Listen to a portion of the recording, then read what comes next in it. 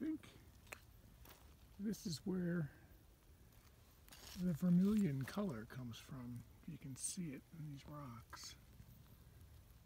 All sorts of yellow, orange, mostly orange, some deep reds, purples. Pretty amazing. And it's everywhere.